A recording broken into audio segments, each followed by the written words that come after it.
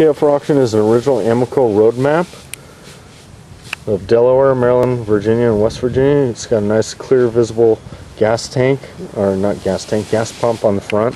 And you can see the visible gas on the uh, other pump right there. And then it's got a gas station with a bunch of attendants and different cars.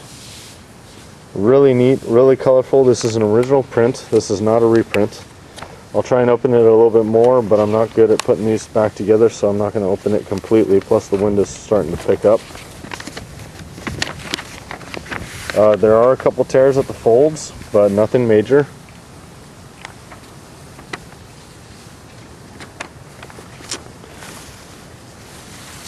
It's got a mileage table on the back for different cities and states. If you have any questions or comments, please give us a call or message us, and please check out our other auctions as we're selling similar items. Thank you.